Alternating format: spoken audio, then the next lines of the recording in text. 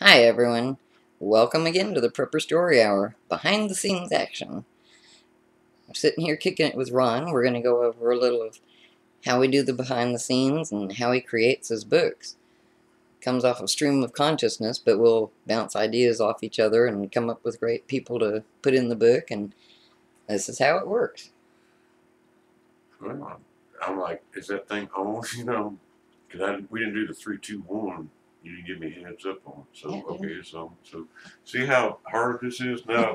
since we do behind the scenes anyway, you get to see the behind the scenes of us creating this new format. And doing it on tape, we're just winging it, so bear with us as we go through this first experience together. Yeah, it's bad enough doing this part of it, but let alone how many editors, editing programs I play with. You know. Yeah, It's people like don't which one's realize. good, which one is bad, and what is this and what is that, you know? A lot of the editing programs will change the sentence in a way you don't want it changed. So we try to do it mostly ourselves. We'll go over it three or four times editing before it finally gets published. There's a lot that goes on behind the scenes. No, you're talking about a book. We we're talking about this. We don't go through this. We're just doing it live. Yeah. Like this is unedited. Okay, so we didn't have to do this three or four times to get this bad, right? Yep. All right, so we'll tell them a little bit about Patreon and what it is that we're trying to accomplish here in, in our uh, narrating of the books and whatnot. And then uh, what we're going to do is talk about how the books are created, a little background on me, a little bit how this whole writing thing is, uh, because technology changes every day. And I'm constantly having to learn something new as I'm teaching y'all something old a little bit, you know, yeah. and get out and mess with it a little bit. You know, I gotta have time to go out there and hunt the woods or something. But uh, we'll talk about that. Then we're gonna go into. I've got a book I'm writing. We're trying to get out by Christmas. All right, and uh, we're gonna you're gonna read a little bit of that, and you're gonna explain how the process. So let's just go ahead and let you take it, and I'll jump in where I need to. okay. Patreon is this awesome new platform that opened up for anyone, any kind of a creator that wants to share something with the world. This is what we're doing, and by you paying a dollar, two dollars, whatever your level, you get to let us have the experience and share it with you. And we share knowledge, and makes a feeling of community. So we're all going through this process together anyway. Patreon lets us do it. We're doing it all the time anyway. Sometimes we struggle. And this way we get to have a regular income and get our creativity out, and you guys get a little fun with the adventure of how it's done. Patreon is the way creators get paid these days. You see a lot of people, you'll see me post a lot on Facebook and Twitter, etc. Or you'll see your people that you like to follow on YouTube saying they're demonetizing us, they're taking away our incomes, they're censoring our messages. You talk about guns, you talk about in, uh, non politically correct things, demonetized, so they don't want to hear our voice Right. and I talk about a bit of everything, and you get nailed for the darndest things. You know, if I, you know, it's like if I tell you how to clean a chicken, you know, and show it, uh, they're gonna go, no, that's gross, demonetized. But they'll show somebody cooking and eating a chicken. I don't feel like figuring out in between things, so we just do it the way we're going to do. When we started out on this platform, I've been thinking about doing a regular YouTube channel for years, but I always just kind of stay behind the scenes and talk to everybody on their channels and whatnot. That used to work for me because everybody advertised, you know. But uh, Right. That's and they would say, "Hey, Ron," or whatever, and I'd give them something from a supporter, and would they review it? And it worked out real good, but uh, a lot of the channels they disappear because one, they get demonetized. Why do it anymore? Uh, if you're a prep, there's only so many ways you can purify water, and everybody and their brothers doing it, so they don't do it, or they go. Uh, they, they move on to homesteading, uh, more Yeah. self-reliant, which is you don't get to follow because everybody else is doing bug out bags, wanting to know what the latest greatest, you know, diesel powered rifle or something is, you know. Yeah, those are the money preppers. Yeah, so uh, we just do our own little gig on, on what we do, you know. And this is a, this platform here shows us that we can. One, I love listening to you read my, my story, so you can kind of explain a little bit about how we're going to call us an edit for our two dollar patrons. That's the difference between a dollar and a two dollar on our channel. Is a dollar you get to hear her just reading a story, or two dollars you actually get to see how I'm creating it. And it might be good for any author out there because I go about all different kind of ways Yeah. and y'all think it's a decent way, or you want to find out how I get a boat shipped to me from Canada, you, I might tell you, but I don't think you can do that. That's that's a wrongism, you know. You have a very good talent for that. No, I'm, I'm not trying to brag or anything, but we get a lot of material. Then everybody complains, "Oh, you got too many commercials in there." You know, I'm like, I got a boat, and I picked the best one I could. And if y'all want a boat, this is why it's good, and this is everything you can do with it, and all the gear you need. And then uh, we have a prepper meet, and I give gear away. They support. You know, y'all get some Yeah. free stuff, or I get you a special discount. So it's it's my way. You know. So every time everybody hollers, "Oh, less commercials, Ron," I go, "Okay, I'll be nice, but." You may not get as many stuff." prizes and stuff. Yeah. there you go. You know. Yeah. So Ron always shares as much as he can with everyone. We get our gear, and everyone else gets to share, and it's a big adventure. Oh, yeah. And we want to get back to it. Well, I used to send out a bunch of books. We had a lot of channels, uh, YouTube channels, like they used to tell me about Big Fan or something like that. And we send them free books. I can put some links below this. I think I will put a few of those in there. Yeah. Uh, it's like I'm dyslexic, but this is I love this book, and I mean it's great advertising for me. But the idea of it was just to you know give it to somebody, and it was nice. Uh, I got people approach me on uh, Twitter and whatnot. I sure wish I had the money to buy you books or something. They'd like watch my little videos, and nobody Yeah. watches videos, by the way. But uh, I like sending them out, but I can't do that anymore. I got too much competition, you know. And money's not flowing like it used to, so now we onwards and upwards and doing other things. Yep. Maybe getting on this platform will help us get back to that much more giving. Oh yeah. It's the best part of it, anything, getting to share and give. Oh yeah, well, I mean, I enjoy that. I mean, I want to holler preppers on the beach again and uh, have everybody come down. We went uh, with uh, Lowbuck's channel for a lot of years. Uh, here and there, I always supplied a ton of prizes. Even if I didn't appear, I, I, I send prizes to these prepper meets, or I do the retweet on everybody's stuff. I do the advertising, the community. I push everybody, you know. But uh, there's not many of us old timers, folk, you know, Yeah. uh, doing that, you know, and uh, you try to start networking with somebody new, and it's a different generation, different mentality sometimes. Also. Whole different language sometimes. Oh, yeah. I don't, they laugh at me because I don't do one of them, you know, hand phones, and, I, and they go, well, you need one of these, and I still don't know what Solar Storm does to that yet. And I'm supposed to be the guru that knows this, right? and I'm speculating, I'm thinking, and as soon as I think I got it, they up it, or they got spyware, or they got this, that, the other, and I don't know what happens if a hacker makes one super vibrate on you or something. You know, like everybody's walking around one day and the hacker goes, oh, everybody's phone's gonna vibrate a ring or something. What happens? Well, they're saying they can make them explode in your pocket too. I don't it's bad enough these self-driving cars that were the devil out of me. Oh Lord. So, I mean, we're we're exploring new realms. It's kind of like my grandfather. He started out on a horse-drawn fire engine and saw a man land on the moon. And he said, "Well, what did I want to see in my time?" Yeah. And um, it's kind of like you know, uh, if you were a stagecoach maker or a blacksmith, you know, you lose your job along the line. Well, I'm everybody's going forward technology. I'm going backwards trying to remember some of this stuff and teach people, and a lot of that knowledge has been forgotten, or I didn't learn all of it. So I'm exploring backwards at the moment.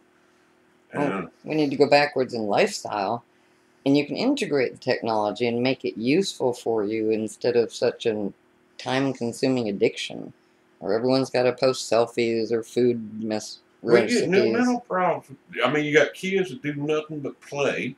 Yep. Uh, warlike games, you know, killing everything, and you don't realize, you know, it's got to be like that's the boy I got to watch if I give him a BB gun, not to shoot the birdies in the backyard because got no respect for real wildlife or what. It desensitizes them. It separates them from reality. integrity, safety, da da da. You know, and and don't backmouth me. Respect elders type thing. You know, which they don't do these days. They sure don't. And uh, I mean, I come from the hippie. We were like all against establishment. Now we're like being old folks. You know. It's like my father built buried in Arlington Cemetery, and when I was there, I was talking to this old sergeant. I said, you know, when they put the last uh, World War II generation, the greatest generation, which y'all did, in this cemetery, we're going to go to hell in a handbasket because you're the ones that set up the government, fought for the country, all this and that, and, you know, we hit Vietnam, and it's like, everybody kind of mellowed from that. It took a long time to mellow that generation a little bit. And there's still a lot of y'all out here ain't talking about you. I'm just saying how it used to be, you know, you chase a hippie down the street type thing. 'cause I know I was one. You know, bad deal in the red, but I don't want one of them buzz haircuts, but uh, it's still what the, the basics of the 50s generation, the Leave the Beaver thing. We actually had it really good. Look at what goes on out here now, you know. Yeah, they brought civilization. Yeah, basically. Kept it. Okay, so uh, uh, we're going to quit digressing here and go back to uh, how we make a book actually. We'll be starting out reading a portion of one he's working on right now. I haven't even read it yet, so this is my first time too. Smoking Skillet. You Okay, gotta- basically what I, I do is, like, if Pat lives uh, a distance from me, and we don't always hook up. She's got her house, I got Prepper Shack, and I also take care of my mom, which is an opposite direction. And I'm constantly floating back and forth, going here and there. Originally I was going to call it backwards bug out, and we were going to do it a different way, right? Yeah. Which, I mean, how many places do I have to bug out you know, or collect people from. It's, it was kind of a unique situation. I know a lot of people probably experiencing the same. But uh, this one is a deviation from what I got. And uh, y'all that are against commercials, guess what? This one don't have one. It just be ready. How about that? Merry Christmas to Wow. y'all. That's your present, right? Yeah. A Ron Foster book without commercials. Isn't that fun? Everyone's going to be flabbergasted.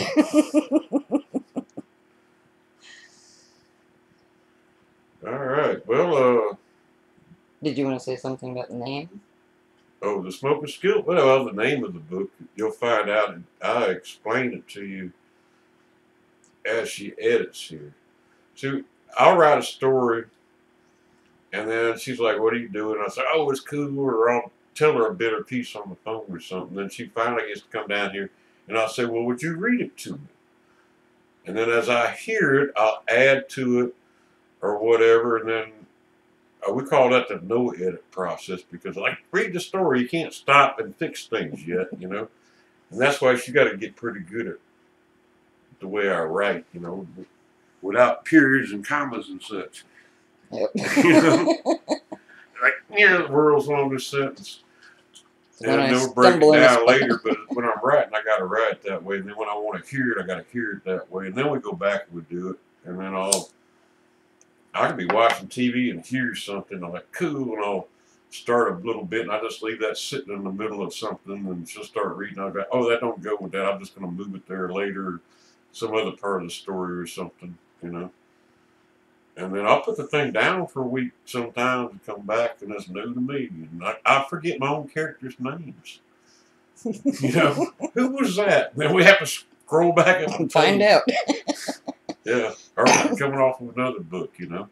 After so many books and being so prolific with so many different characters' names, it's hard to keep track. Yeah.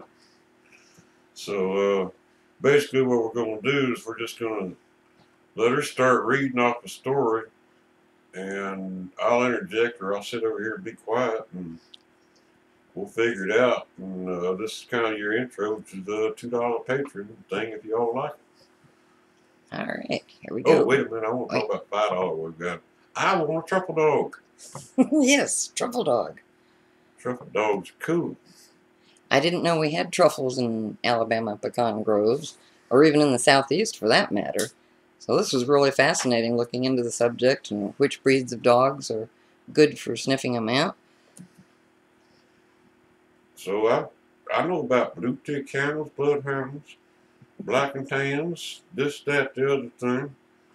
And I, I used to own those South Herb Company and collect botanicals or get pulpwooders to help us. We don't have uh, slaves in the South now. We have what they call pulpwooders that they say sometimes. And that's uh, usually a black crew, and you start out on a pulpwood truck about nine years old. And that's a 1952 held together with bale and wire or whatever. You go out here and you cut wood, you know, and you end up with arms like this, Yeah. They're huge and they can lift anything. yeah, but they're the best kindest people there ever is. But you know, my old place, you know, like, uh, they got a problem with white folks. They go get whoever local, and we just do. We live together. You know, that's everybody thinks about Preston South. We just we got our own little gig, especially when you get back backwoods, like where I come from a little bit. Yeah, we don't have any race riots down here. We get along together. Oh yeah, and he stop and help me the same as I stop and help him on the side of the road. You know, he'll go. Yeah. If you stop on the side of the road in New York City, they come and rob you. You Mhm. know, that's that's the difference for me anyway. But uh, the books, the the old weird Southern lifestyle I write in them is all about just working together as a community. You know, I kind of lost my train of thought where I was going there with that. I got on a rant. Simply creative. Yeah, we're just creating. So then uh, we'll go on with this book. I want to talk about what was currently happening in the world. So we're going to talk about Korea, and also I was going to talk about the truffle dog thing. The uh, I'm not going to write nine nine forever. You know, I'm, I'm going to run out of stuff just like everybody did on preparedness. I'm going to teach everything I got, and I'm like, Shaolin monk, go and see the world, you know. And uh, then you can watch me and you wander around be sitting in the pecan grove and the dog be finding some stuff and we're going to still get by. Maybe you want to too. That's the coolest job I can think of. So since I got you on the road to Prepwood, I might find you a, a neat little retirement job or something and we're going to go through this together. Sounds good. All right. So why don't you go ahead and start the story here we go.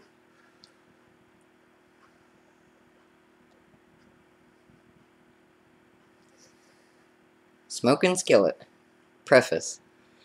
If man can water- modify the weather, he will obviously modify it for military purposes.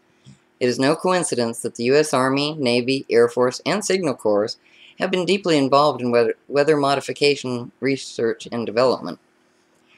Weather is a weapon, and the general who has control over the weather is in control of an opponent less well armed. The idea of clobbering an enemy with a blizzard, or starving him with an artificial drought, still sounds like science fiction, but so did talk of atom bombs before 1945. So wrote author Daniel S. Halacy Jr. in his book The Weather Chan- Changers, published in 1968. So what I talk about is nothing new. I just tell you things that you'd heard of and then tell you how common it was. And I've been studying it for that long. Yeah, people don't realize a lot of this stuff started long ago, and people have just forgotten it, or they don't teach you it because it's not in line with their agenda anymore. Well, it's like old Pete, he hangs out on my channel. He's doing his one liners these days. But we did uh, emergency management together on master's level. We were teaching EMP and whatnot in the sidebar in solar storms because they told us we weren't allowed to talk about in school for an emergency management master's degree. So we basically taught the whole darn class what it was, and the instructor had to stay out of it. That's hard to believe. You know, but that's what it is. So I mean, I'm in the I got two master's degrees. I should have had a doctorate, but I just didn't do the colloquial stupid thing. And uh, they don't teach it, and there's not one class that you take in college in emergency management at any level that tells you how to purify water. So y'all lower your Oh, opinion God. of who's in charge of you one time. Yep. People just blindly trust the government and all emergency management is, is, you know, you're you're more of a switchboard operator. You know the the what cop to call to send where where hazmat is or whatever, and that's it. As for getting around or eating roots and herbs and all that kind of stuff like I do, that's not taught at all. that's amazing. you know. And they, they, everybody looks up to me, you know. That if you stand there on the uh, flooded street and whatnot, what do we do? Uh, get in the boat. That's about all I can say, because he don't know anything else. I then uh, I wrote Arc Storm, where they had to go pick up all the emergency managers that got flooded in. yeah. Didn't know what to do. There you go. And you told me that most emergency managers don't even have a 72 hour kit. Oh, they don't. Yeah, and they thought it was amazing. It's like you know, ten years after the prepper movement, they do poll. That's the only reason I got. I post my emergency management stuff on my Facebook all the time because I still get all my newspapers and all that kind of thing. You know. I'm a certified emergency manager. I mean, that's nationwide. I got more crap than most of them got in my state. You know, and they go, okay, let's look at this. They start comparing what preppers do. You know. So I'm always watching them, but you know, and everybody's par- paranoid prep community, like, oh, they're gonna take the stuff. They ain't no plants. They didn't know plants take care of themselves. Y'all quit worrying about things, Yeah. you know. but I write my books. I got by over there because, like, we're in Mobile. Quick little story for y'all. Hurricane Frederic um, down there, and that's when I learned to hang out the cop shop. I was in the National Guard then. And there's an art to being in the National Guard going to hurricanes and floods and whatnot. Because you got uh, various tents set up where to eat chow at. Now, you don't want to go over to like Salvation Army. Because Mm. whoever's working Salvation Army was probably in there, and they ain't the best folks around to have cooking your food sometimes. Right? yep. but that's all they got. That's who's cooking. And uh, everybody that didn't prepare don't have stuff at home. They're out there eating. It's amazing how the tents fill up, and it's amazing how many homeless people you got that come in from Yeah. everywhere that used to going into getting food out the back of a restaurant, all kind of weird stuff, you know, that y'all don't think about. So anyway, you hang out at the cop shop is what you do. It's the police station. Police are nice folks during things like this. They don't go crazy unless you're in New Orleans. Now, I'll talk about that later. But, Oh, but down here in Mobile, Alabama, it's cool as hell because all the families are carrying, it's like potluck dinners down there. There's more food than they can eat. The All the, uh, anything that's freezing, supermarkets, whatever, they donate food.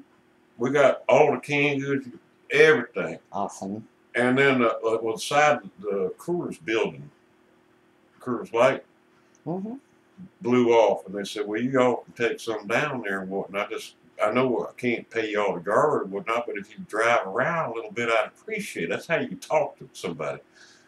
So it was free beer too, and I'm like, I got this. And so from now on, I wrote one of my books, I go to the cop shop. And then if you hang out with them, you get pulled over. Oh, yeah, you were the guy. Yeah, I mean, with National Guard police for a while. Yep. I couldn't get a speeding ticket, nothing. It was cool. you know. Get on their good side. Oh yeah, no, they're they're good human beings, and, and like I say, you see the best of everybody during that time. But you know, as a first responder, you got to look at things differently too. You know, and then it's also if you're a prepper, what do I do? What do I observe? And how do I think outside? Do I want you to here? What is this? And you got all these people that come uh, to a relief effort, you want to call it. hmm And they all got together, and some of them, especially contracts, might not have uh, your good intentions in mind either. You know. All right, go ahead and read the story. I'm sorry. Winning the war without direct conflict. The headlines had been reading for months the same basic rhetoric North Korea, Trump and Kim call each other mad.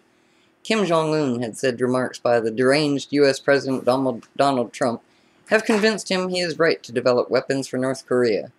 That was the whole ticket because Rocket Boy was brandishing the biggest gun he had allegedly, because he was in fear of an invasion by South Korea and the U.S. In other words, his line in the sand was to go nuclear if we did anything to his, him militarily, and he was going to hide behind the substantial threat and hurl insu- insults and provocations at the world, supposedly behind this safe cover that the world was afraid of his nuclear retaliation. In Kim's eyes, he needed nukes to stay in power and be left alone in his hermit kingdom, and there was a little something to that. Mr. Trump responded that the North Korean madman will be tested like never before. That threat was made before that bastard Kim started making up his own questions and putting America itself to the test. Questions that the Hermit Kingdom's leader knew that the U.S. was most likely unprepared to handle. A whole bunch of clever little terrorist pop quizzes was devised by Kim's army in the form of guerrilla tactics, designed to add fuel to the fire and upset America's apple cart, while denying any fault or guilt of North Korea. Kim Jong un was secretly preparing for a major Category 1 cyber attack, as payback for sanctions on his country, among other things. In comparisons, the WannaCry ransomware virus attack he had unleashed that had already hit the British government badly was only considered as Category 3 or 4 cyber event, and this time he had more than getting money for his war chest in his sights. He would claim no credit for the next cyber attack, just as he had denied the last, and profit mighty, he thought.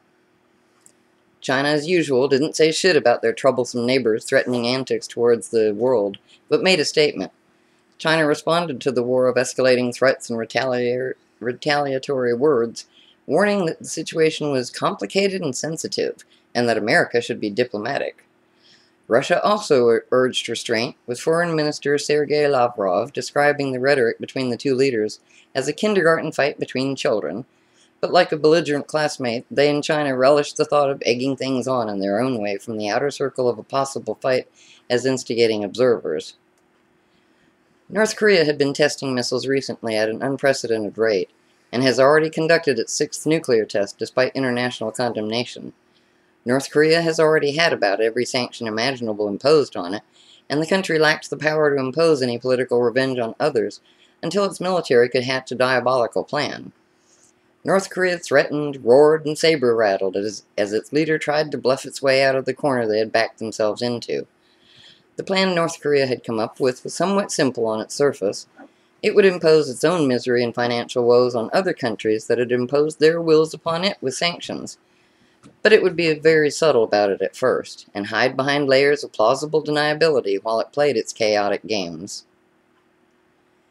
Instead of just a simmering pot waiting to boil over, it would turn up the heat and leave a smoking skillet on the burner waiting to erupt in fire at the slightest flashpoint. That's where the name of the book comes from. Yep, good name.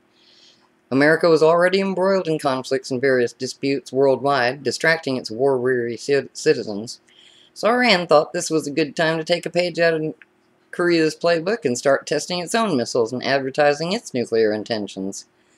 The Trump administration was due to announce the details of its strategy vis a vis Iran around the end of September, but knowing that he, being a strong president, probably wasn't going to give in to demands like the lily livered Obama, they decided to go back to threatening and awaiting the, awaited the sanctions so they could go do business openly with North Korea.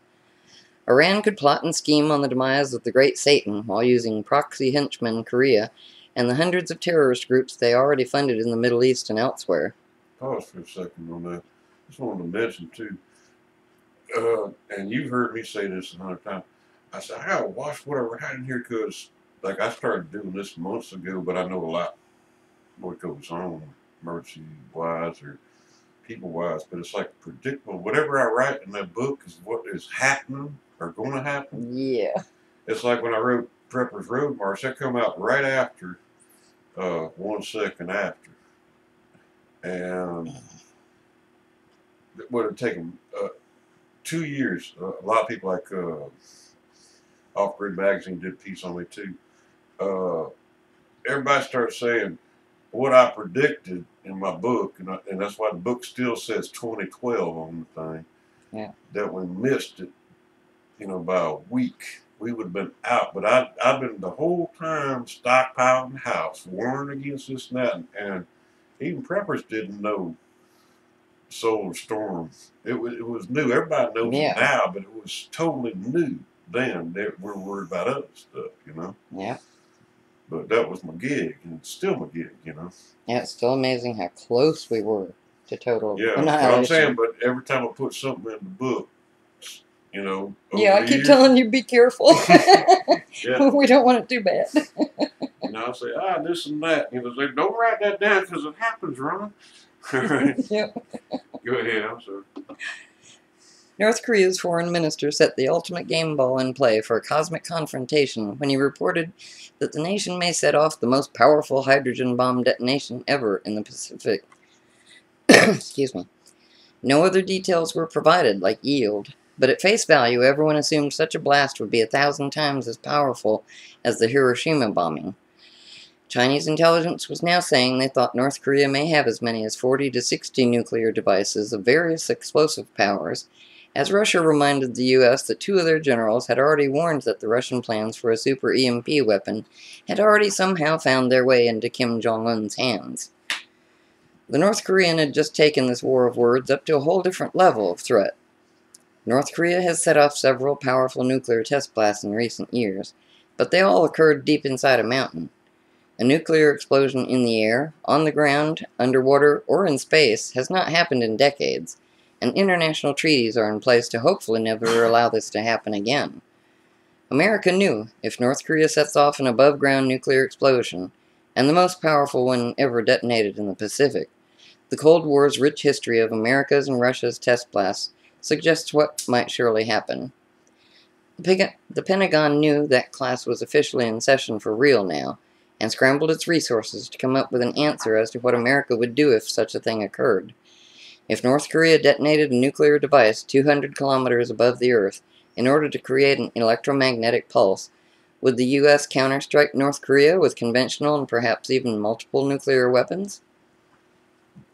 The problem with nuclear test explosions is, is that they create radioactive fallout. Space detonations come with their own risks, including a more widespread electromagnetic pulse. Now, Kim Jong un knew an EMP attack over or near US, Japanese, or South Korean territory is a physical attack that would wreak havoc with communications, the power grid, and civilian physical. Intra- infrastructure. Okay, my tongue's getting dyslexic, sorry. That's all right, but I want to listen to this part too, because see, right now everybody's watching the news. Yeah. I'm writing it down for you. You know, I don't talk real open out there in the books, Facebooks, you know, social media, whatnot. That's being monitored through keyword filters and whatnot. I put stuff in my books, and yeah, my dinger goes off on, on the. Well, this is live, so y'all hang with it. Anyway, I'm explaining to you in the best way I can with a little bit of knowledge here what is actually going to go on and how everybody's thinking, you know. Uh, well, you giving, you know, North Korea a voice and, or this and. I'm not taking sides. My job is know my enemy. What's he thinking? How he represents what you think. So, militarily, if they pop one off in the Pacific, say, they're not a member of the nuclear pact, they're a sovereign country, and they're going to say, well, you did it a bunch of times, why can't we do it? Yep. Type thing. And then we're in a position that, well, you don't want to have missiles, but that's an act of war. I'm trying Yes, to explain it. Even though it's off over the Pacific, all that fallout's going to come directly to the United States. Not necessarily. It's not the fallout so much. See, uh, the world is a financial situation. You mess with one Yeah. freighter, you're doing maritime law. We got to come up with all these things that we can talk about. But anyway, I think I wrote the coolest book right here, and hopefully I don't have nobody chase me down. Uh, we used to do what they call red team. You put yourself in the position of the terrorist of the other army, and this is uh, what we do all the time, military and anything else. And I said, I can do whatever the hell I want if I was a dictator without firing a shot. And here's his playbook. This is what he's doing. Like if I was your military advisor. Yep. And how would I do it? And I think by the end of this chapter, you can go, holy hell, I hope that don't happen, Ron. That's why I said previously, Yeah. because I have it in my my version a little bit perfect. I didn't go to a lot of things that I know I didn't put in there, hmm but I put in. If y'all just read this part, you go, you see how easy this is, and it's not what you're thinking. It's this is what he's doing. Yep. And nothing's going to happen. We're going to get whacked. And then, but let's go keep going here. I just want everybody to understand that a little bit because I'm really proud of this one. The problem with nuclear test explosions is that they create radioactive fallout. Space detonations come with their own risks, including a more widespread electromagnetic pulse. Now, Kim Jong un knew that an EMP attack over or near US, Japanese, or South Korean territory is a physical attack that would wreak havoc with communications, the power grid, and civilian physical infrastructure, and get massive retaliation. He wasn't going to do anything as foolish as that. He didn't have to. Just the threat and demonstrated capability might get the desired responses. However, in his mind, if America could test its nuclear weapons over the remote Pacific, then why couldn't he? Why couldn't he do it way away from the main countries and as a demonstration of his country's superpower? His advisors explained timidly to him that atmospheric testing of nuclear weapons can lead to multiple dangerous scenarios and pushed their thoughts about using plans from Russia's Cold War playbook to seek his status and revenge. They asked their great leader to resemble to remember that Soviet Premier Khrushchev had said, "We will take America without firing a shot. We do not have to invade the US. We will destroy you from within."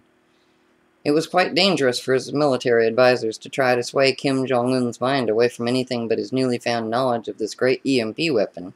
But this quote helped them to settle him on another idea to bring America to his knees for now, as they developed bigger, stronger weapons. This coaxing him to seek other venues and schemes, they hoped, took the risk out of they themselves getting nuked to oblivion in return for pushing America too far should the psychotic leader get his way. A war of attrition was already going on everywhere at a scale unimaginable, at every level, and included all nations. When people have nothing to lose, they oftentimes lose it. Kim had everything to lose if he miscalculated America's resolve.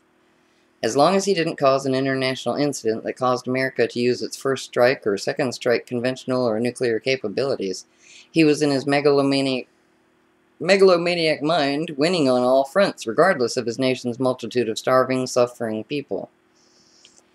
If his followers were starving from economic and trade sanctions, then the opposing nations should suffer the same in return, he decided, before he would ultimately destroy them. He could, with the resources he already had on hand, unleash Cybergeddon and cause trillion dollar losses, infrastructure collapse, societal breakdown on those governments. At. Yep. On those governments that currently opposed him. They would feel the financial sorrows and hunger pains his people felt, he decided. Kim Jong un didn't have a lack of imagination or advice when it came to achieving that task. It was rather simple, really, and the Americans had already provided him and everyone else on the darknet with lots of cyber warfare tools to mess up the world's financial markets and get paid to do it. The UN banking sanctions weren't hurting North Korea much, except on the surface, and the murky normal channels of world finance. The WannaCry ransomware attack was his first act of implementing his nefarious plans against the US and its allies. On May 2017, a worldwide cyber attack by the WannaCry ransomware crypto worm, which targeted computers running the Microsoft Windows operating system by encrypting data and demanding ransom payments to the Bitcoin cryptocurrency was executed. Lots of people considered that one has to suspect this was a big false flag ploy by the US government, led by the SEC and other concerned parties, elite parties, to discredit Bitcoin by association. The ransom dem is demanded in Bitcoin, after all. The public just assumed it was asked to pay this way because it was supposedly untraceable. Now, China at the same time was mucking up the markets, coming up with its own new currency, one that was gold backed and was going to be used to replace the petrodollar for purchases. Saddam Hussein thought about that, and you know what happened to him when the industrialists and elitists decided they couldn't have that happen. The accusations that China and Russia are hacking the world and focusing on the USA were everywhere in the news, and with Iran and a number of others pissed off Middle East Eastern nations and terrorist groups all trying their hands at hacking, this push-shove cyber war for money and power on the internet as battleground, one might consider this war would go on forever with no clear enemy of the state being directly punished. Yes, earlier on I said that Bitcoin was chosen for payment of the ransom because it is supposedly easy to set up, and it's technically anonymous. But those in the community all know this isn't true, and all Bitcoin transactions leave a trail. Kim Jong-un knew this fact, but since the whole hacking community had the same program and capability he had, deniability to having caused all the damage, and indeed it was used by several individuals and proxies as well as state-sponsored groups to get on this cash cow. If Bitcoin was discredited or could be traced to NK, it was only a mythical digital number to him, and no real loss of wealth. In the meantime, his country still made money as long as people accepted it for rice imports, etc. If need be, he could hack or EMP the whole thing, and the world would spiral into financial collapse and be as poor as he was, Kim figured. Mess with him now? How dare they? He would have his just revenge, and they would pay tribute, the ruler thought. The malware attack paralyzed computers in factories, banks, government agencies, and transport systems, hitting 200,000 victims in more than 150 countries. The U.S. couldn't say it was a state-sponsored act directed by NK. The U.S. National Security Agency believes, with moderate confidence, confidence that the ransomware called WannaCry came from hackers sponsored by North Korea's spy agency. Notice they said sponsored by and not committed by. Hell, there are hackers for hire worldwide in the Middle East as well as Russia, China, etc., all have their own, as well as state-sponsored cyber warfare and intelligence gathering agencies, the same as the U.S., as well as their rogue agents. The WannaCry malware relied on leaked NSA code, so it doesn't entirely prove North Korea's hacking acumen or program creation either. However, the country has repeatedly been involved in major hacking incidents over the past few years. In the U.S., most notably, it was said to be responsible for the 2014 breach of Sony Pictures, and the NSA says it was linked last year to several thefts from banks throughout Asia to raise funds. Electronic bank robbery is nothing new these days. Messing with a country's infrastructure instead of just hacking in to gain intelligence is a different matter. Kim Jong-un's cyber war games continue to escalate in complexity and effects. His operatives continue to hit infrastructure targets around the globe, practicing for the day when full-scale cyber warfare is declared. When the National Security Agency lost control of the software behind the WannaCry cyber attack, it was like the U.S. military having some of its Tomahawk missiles stolen, Microsoft President Brad Smith said. Everybody heard about this fiasco for about a week, and then things went quite quiet. Did we false flag ourselves? Who knows, really? Cyber warfare isn't the only way to mess with digital data. I'd be, but I'll never tell you. Good. Yep, some of those secrets you don't tell. The internet is full of plans to create devices made from stuff that you can buy from a hardware store, and disable computers at varying range depending on size. There are plans for small EMP pulse generators to cause even more damage, as well as the principles and lists of necessary materials to make EMP bombs that use conventional munitions and can take out a city's infrastructure. The electromagnetic anti-drone rifles the North Koreans had already developed and fielded were basically a GPS neutralizing device, You That- know about those? No, I hadn't. A lot of people don't see. I always teach you history, latest weaponry, this, that, the other, and then everybody's going, they got rifles to point at our drones? It's that easy, people. You know, if we got one thing, they got another thing. Yeah, and they're way ahead of anything we know about. Well, anyway, I'm just clicking on whether you call it Backwoods Hermit Kingdom. Like, they got EMP rifles. Wait a minute, I ain't heard about, Army having EMP rifles? Yep. So, I'm just telling y'all as I go a little bit of something here. Knowing we've got it already, they just Well, when you get down here, I'm going to say break, and uh, we got about another 10, 15 minutes to go, and then we're going to have a short discussion to end this up. Ask me if what I come up with scared hell out of you, because you ain't read this one yet, but so far I'm just like babbling away, and so far I ain't said nothing about no weather wars, no nothing. I'm just saying, uh, huh, this is happening. See, everybody that's reading this book now kind of want to know this. As I write, I also watch uh, what's going on right now. So I put in there, they got 60. And I know everybody do the fact check going to run out there. They might have 60 nuclear bombs. And then everybody said a year ago, they don't have one. Now they said they got 60. China says they got 60. Russia says they got super EMP weapons. They had it for years. Uh, they're the biggest cyber attackers out here. I got them combined with Iran. Iran wants to be like it. I like, do y'all see the real picture here? And as I'm telling, just like I was doing the Soul Storm Mist by a week, I'm telling you what's going on. And watching, but I'm gonna write this one as we see more stuff coming out, Yeah.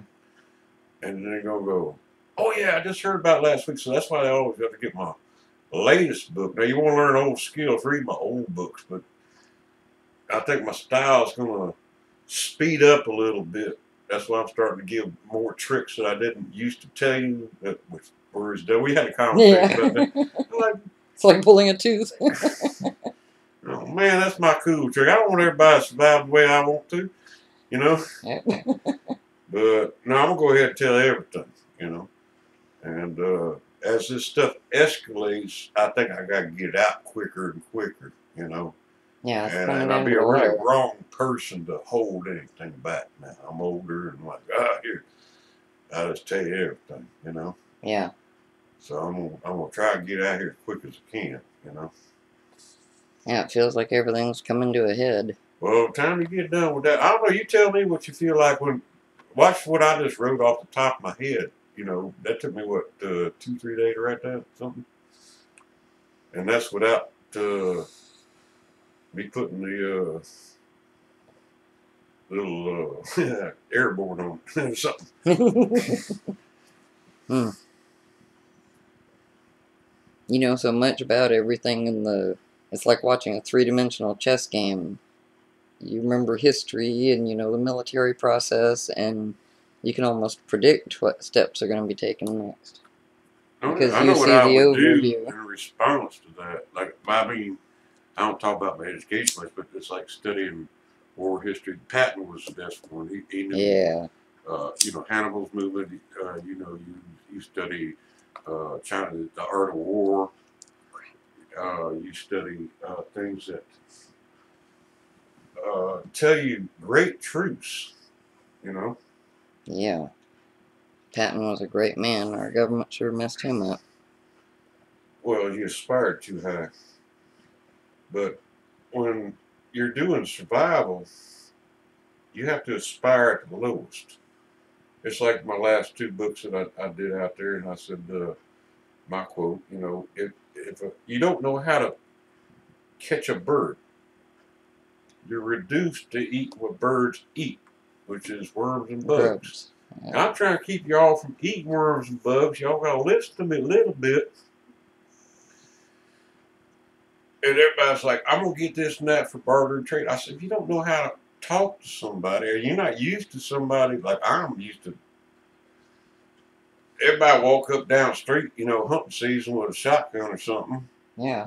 Hey, how you doing? And it, they're not no mad terrorist in New York. You know, it's, it's a country boy with a shotgun. And Yeah. of course, uh, New York's country with shotguns. I don't know how that ends up, but anyway.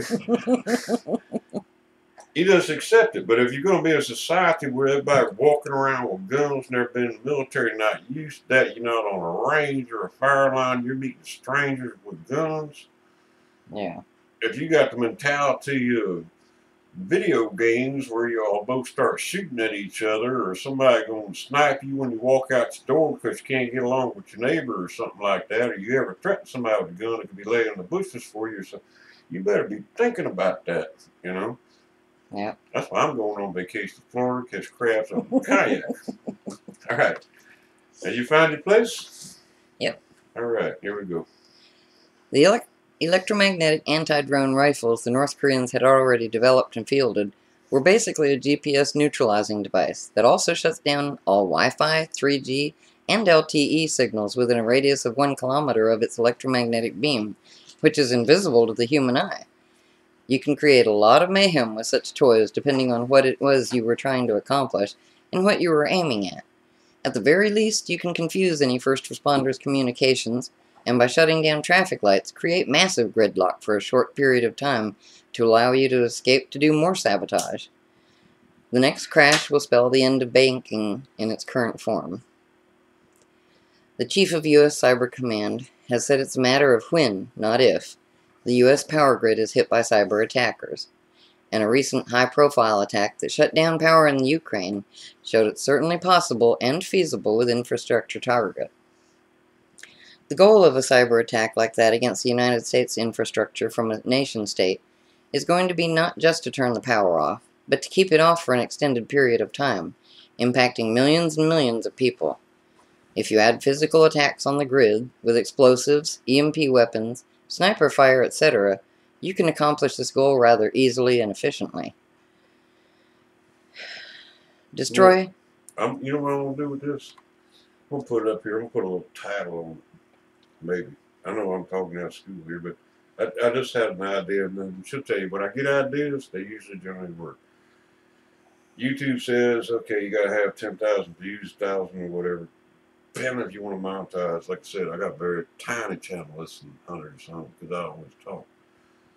I'm gonna put this out with one of them clickbait things like uh, Korea for preppers on it.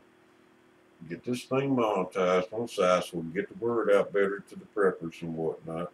Probably get in trouble, get a knock on my door for telling them how to do it.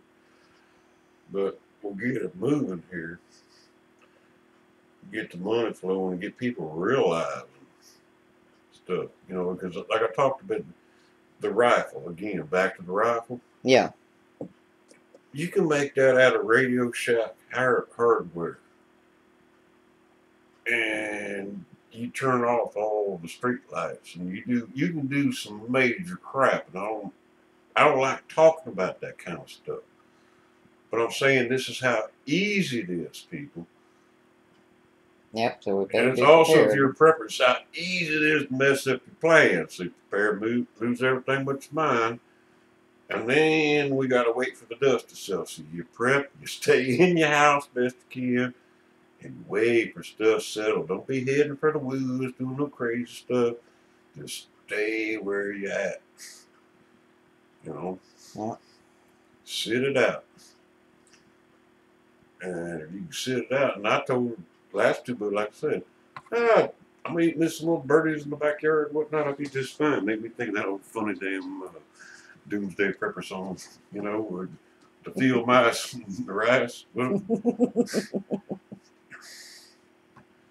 But this is how easy it can be done, and I'm not even going anywhere with it. I'm just like basic walkthrough mess with you that nobody thinks of.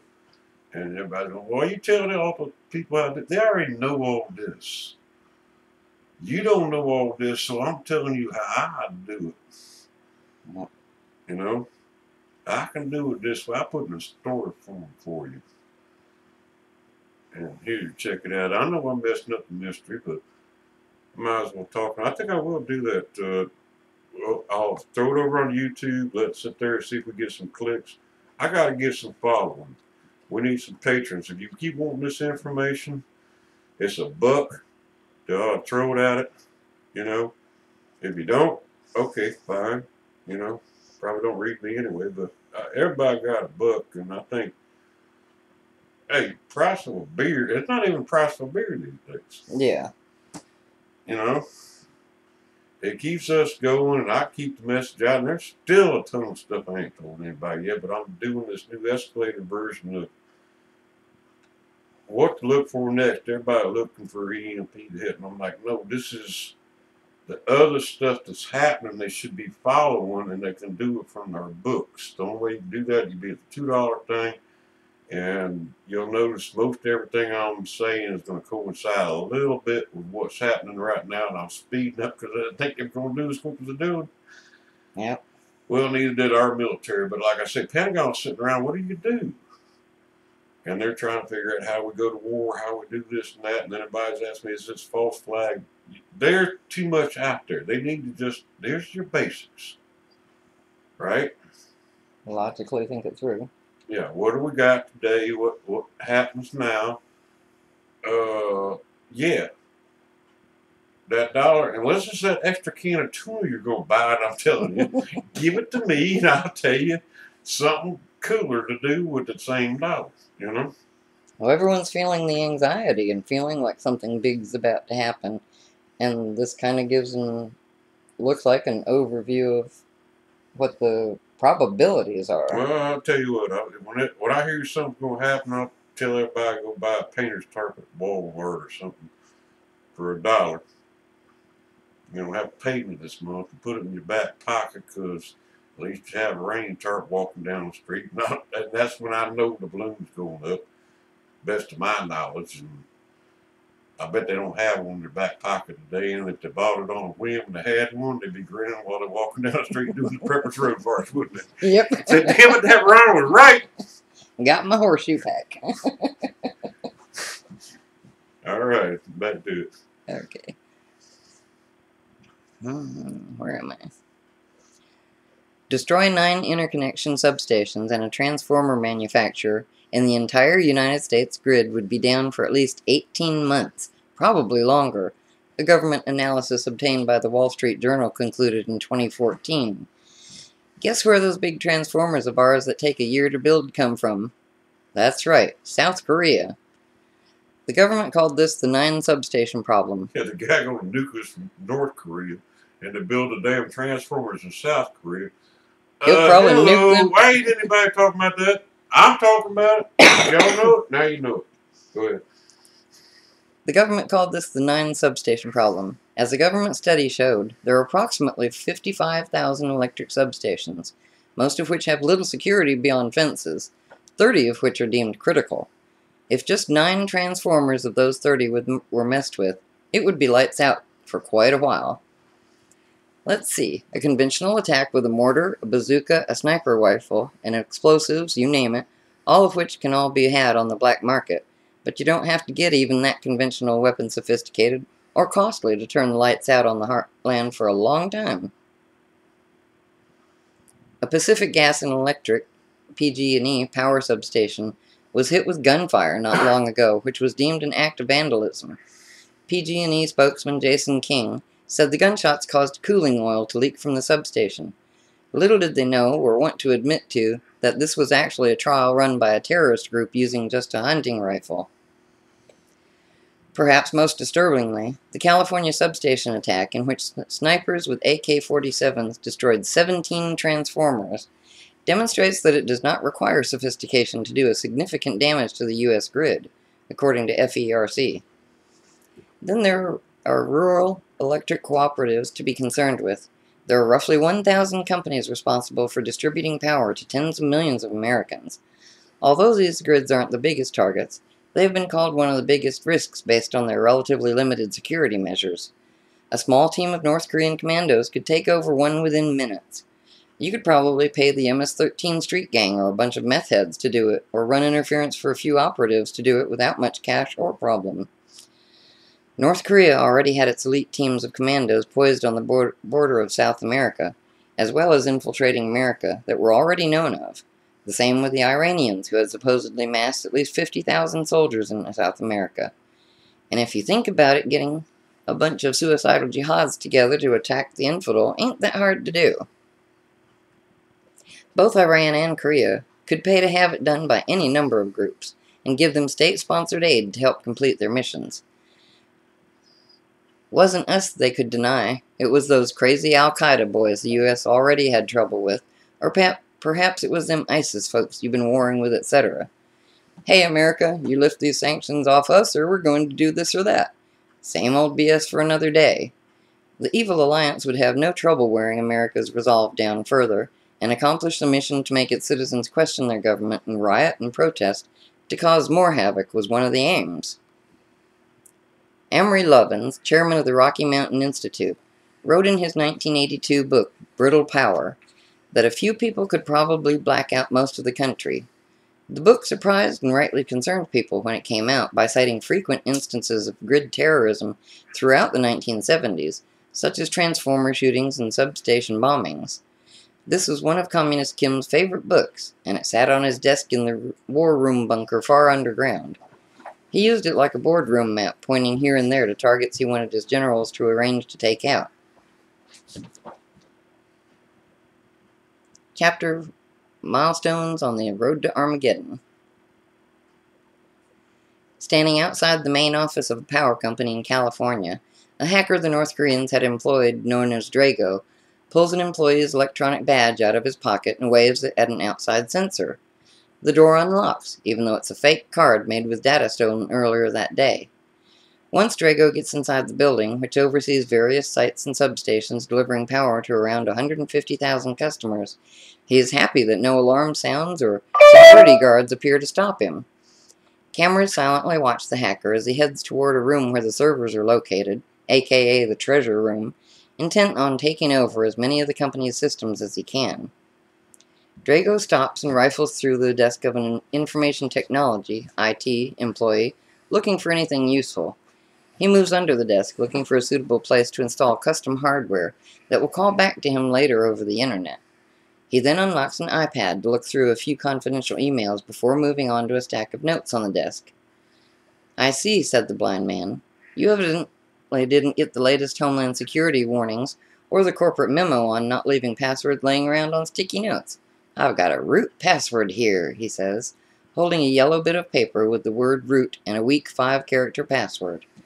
He's just uncovered the crown jewel in this little foray, this appeared to be a possibly a top administrator password that likely would give him unrestricted access to just about any computer on the network. It wasn't like he needed to ever worry about paying his power bill again. He had plenty of Bitcoin and a Swiss bank account full of cash that nice Korean guy had paid him for a little covert surveillance hacking. Later on, he needed to dig a little deeper into the network to figure out just how much he can do. I it's a, on Crash Bitcoin. You think they're going to crash Bitcoin?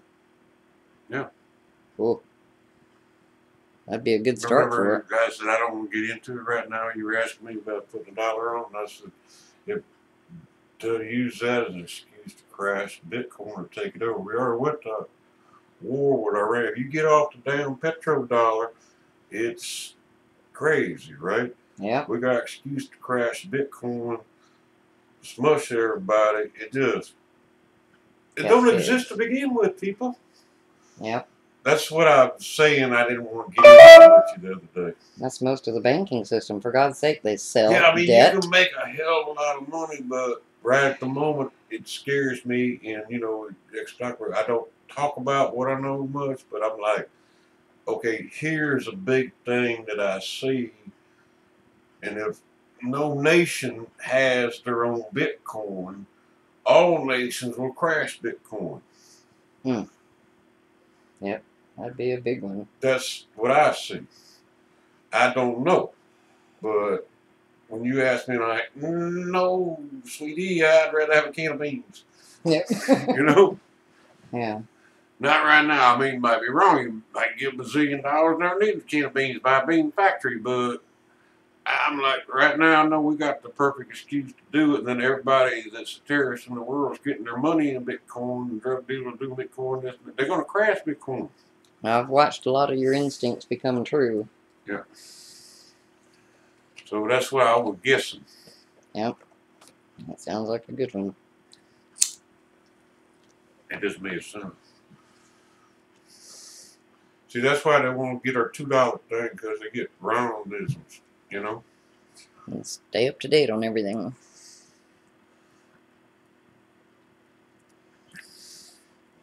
Later on, he needed to dig a little deeper into the network to figure out just how much he can do. It's highly likely his find could result in the theft of corporate proprietary information on the company, leaks of private cu customer details like SSNs, home addresses, or even access to critical systems that could take electricity offline. But he didn't care. He quietly slipped out of the building the same way he came in, and went home and waited for the next power company operator to log on. Over in Washington, D.C., Another hired hacker carefully gained access to the district's welfare and food stamp distribution computers before heading to Mexico to enjoy her mm-hmm. ill-gotten gains. Who cares if someone wants to change charge the system for some more free food and money? Everyone that's on it will still get it, or so she thought. The skillet was hot now, it was time to turn up the heat and get some smoke going. Terrorists set wildfires in the west were already creating havoc. They had figured out long ago about using fire as a tactical weapon of war.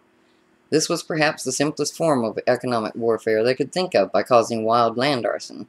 Yeah, more wildfires than we've ever had so far. Yep, all over.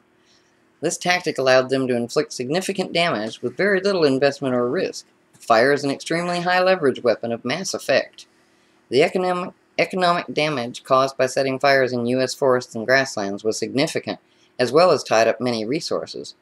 Dr. Rachel Ehrenfeld of the New York-based American Center for Democracy's Economic Warfare Institute had previously warned that, la that last a few months ago, Al-Qaeda's English-language online magazine, Inspire, published an article called It is of Your Freedom to Ignite a Firebomb, which featured instructions on how to build an incendiary bomb to light forests on fire. A few months later, Russia's security FSB chief Alexander Bortnikov warned Al-Qaeda was complicit in recent forest fires in Europe, as part of the terrorist strategy of a thousand cuts. All these things were but distractions, however, as the enemies of the United States and its allies networked its minions to create hell on earth. The tempest of World War III loomed on the horizon, most people thought, thinking of it as a nuclear exchange as the war drums beat louder to end these blatant attacks, but saner heads tried to prevail. Neither North Korea nor Iran had demonstrated or tested a full-blown nuclear device above ground that had damaged anyone as of yet. Israel was on a hair trigger and threatened to take care of Iran itself if the U.S. didn't hurry and step up to the plate. They were already bombing the hell out of the various terrorist factions threatening its borders as the world began to get even crazier.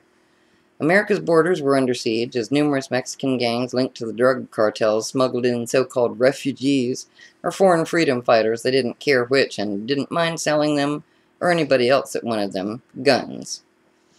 The sun was entering solar minimum, and it was throwing off unprecedented coronal mass ejections of enormous size. Volcanoes, earthquakes, and hurricanes plagued the world. Mm-hmm. Yeah. Various plagues and pestilences were occurring throughout the world as scientists struggled to combat them and find effective cures. A whole Pandora's box of woes had seemed to have been wildly let loose in the world. Weather wars seemed to be occurring as countless countries accused one another of this or that dastardly deed, and tried geoengineering to either offset a wildfire by making rain, or in the United States and China and Russia's case of causing earthquakes and other supposedly natural disasters. That Kim Jong-un was in back of a lot of this mayhem was a given. What to do about it was the problem. The president can order a nuclear strike in about the time it takes to write a tweet. He can easily turn that North Korean fat boy Kim into, into a Tostito, but there were major potential repercussions from Russia and China to consider. They were not likely to be appreciative of the radioactive fallout that might come off such a strike and cross their borders. The president kind of felt like he was being pistol whipped by the North Korean atomic threat. Leveling the playing field is what Kim Jong-un had in his devious mind. The U.S. didn't want to fight him conventionally, he thought, and his threat of nuclear response if attacked held them at bay for now, as their country lost power and influence daily. warning here Three minute warning on um, we're gonna be the end of what we're going to give them. They're going to have to give me two bucks on this one. okay. I'm sorry I say it that way, but you know. Yeah, well, you know me. I always it's get into book. the stories so much. It's just, it's a good story, but you know, uh, this is You just reading it now. You got to edit the thing after. You're gonna have to go in. I said we have. We're supposed to. You're reading during our 15 minutes that we're gonna do, right? Which I'm enjoying it too. And I forgot where it was at, right? but uh, you go back in there. And I don't put the word dad or I don't spell friend right or all the stuff I do consistently and fix it up. But anyway, I'm, I'm telling just so far, did you just see me just have one guy walk in here and one woman shut off everything? All the food stamps in one day give us that problem with the people. Yep. You know, do that and shut down a little town over here. I just got a few people wandering around. We got people coming back and forth across the borders already. It's easy to mess with the United States. Nobody think about, you know, back in the day, oh, communism in my backyard. You're going to have, you know, Well, if anyone's really been watching, they've been setting this up for a long time, uh, and they're darn near completion. But did that scare what I come up with? Scare the hell out of you, and you don't have to fire a shot, and we ain't gonna smoke because everybody just you know. Anytime I write anything about their missiles, say, "Oh, we're just smoking." No, he gets to do what we want because even though we know we do, we're scared he's escalate to the nuclear thing. Yeah. And that's what it means to do. See, I'm actually in his head, and I know he just wants to be his little hermit kingdom. He don't want to end up like Saddam. Yeah. And he's like, ah, I want the weapon type thing. But meantime, he's also going, I get you anyway. And if I can do it sitting in my prepper shack, I, assure you he can do it. Yep. And so everybody said, read and listen. Listen to me, it's, it's fiction. Enjoy it while it is. Right. Scary times. In a war of attrition, both sides have the same approximate strength, and each attempts to force the other to surrender by wearing the other down. The prevailing side simply outlasts the other, forcing continuous losses of people, equipment, weapons, or food. Tomorrow, Kim Jong un would turn off half of America's lights and cut off millions on welfare and food stamps. By the time the stupid Americans figured out who was truly at fault, it would be too late to care about him. Millions of starving citizens would take to the streets angrily in a few days, rioting, Kim hoped, and this outpouring of America's ghettos would tie up the military and police, take down America from within by smartly using its own people to cause even more societal breakdown, vandalism, arson, and violence. That was the plan. Of course he wasn't done playing the game yet, neither was Iran. Next week or next month they would cause the rest of the electrical grid to go down in Europe and the US. Kim Jong un picked up his favorite book and reread one highlighted quote again for the umpteenth time. Destroy nine interconnection substations and a transformer manufacturer, and the entire United States grid would be down for at least 18 months, probably longer, and called for his aide to take a memo. Where was that book that said the American EMP Commission had predicted 90% of its population would be dead in one year after the electrical grid was taken down? Kim thought to himself. Ah, yes, here it is, he murmured. Director James Woolsey and EMP Commission Chairman Dr. Vincent Pry, from the Task Force on National and Homeland Security, published an article on TheHill.com where they argued that a nuclear EMP attack could wipe out 90% of the U.S. population. Woolsey and Pry cite the Congressional EMP Commissions, arguing a single warhead delivered by North Korean satellite could black out the national electric grid and other life-sustaining critical in- infrastructures for over a year, killing 9 of 10 Americans by starvation and societal collapse. The threat to America's electrical grid is much bigger than you can possibly imagine. Do some preparations. Wake up!